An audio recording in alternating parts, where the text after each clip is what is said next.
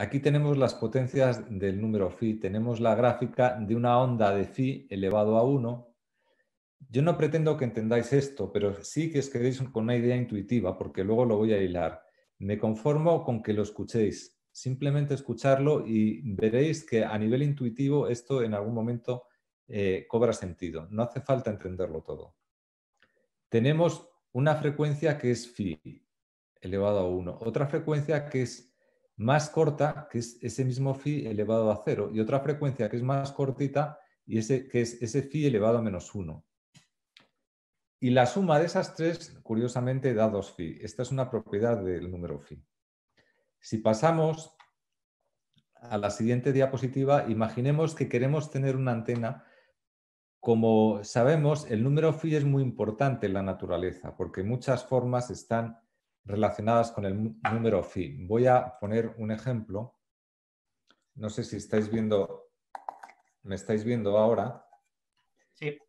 Os presento dos eh, caracolas que han creado eh, dos animales semejantes. Una de ellas es más grande y otra más pequeña. Ambas están hechas en proporción de phi.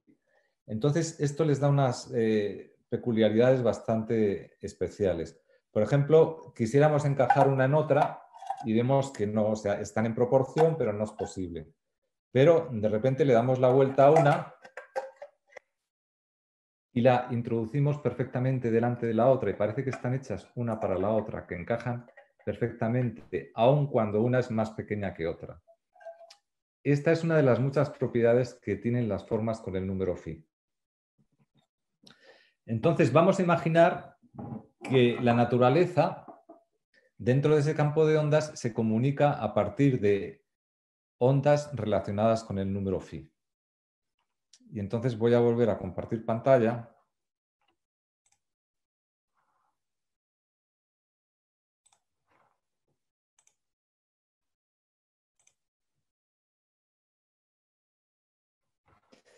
¿Se está viendo la presentación?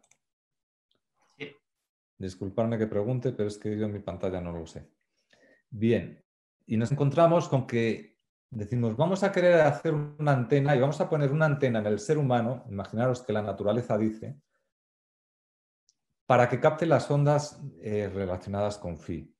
¿Cómo os imaginaríais que, que, la naturaleza nos puede hacer para que captemos las ondas relacionadas con phi? Con el número phi.